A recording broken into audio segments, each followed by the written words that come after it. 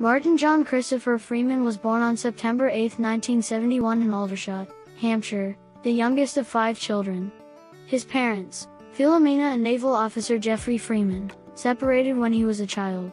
His father died of a heart attack when Freeman was 10 years old.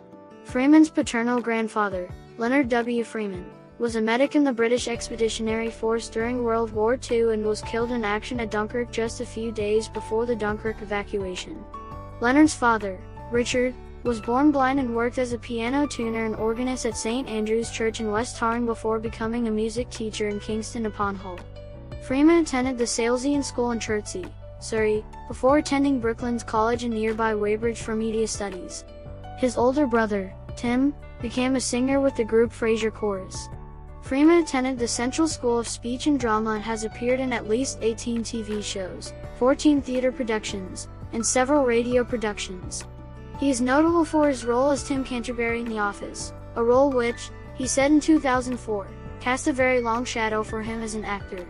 He appeared in the sitcom Hardware. He also appeared in several films, including Ali G Indahouse and Love Actually.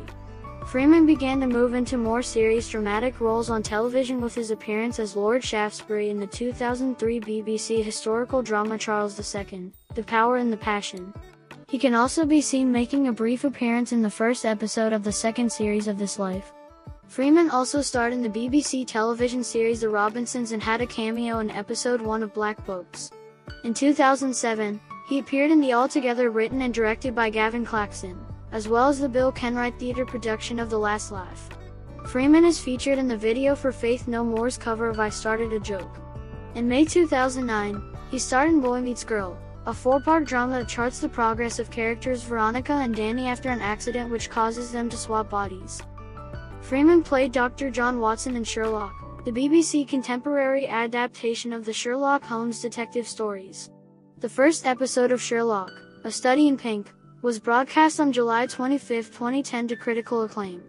For his performance in the role, he won the 2011 BAFTA Award for Best Supporting Actor and the Primetime Emmy Award for Outstanding Supporting Actor in a Miniseries or a Movie.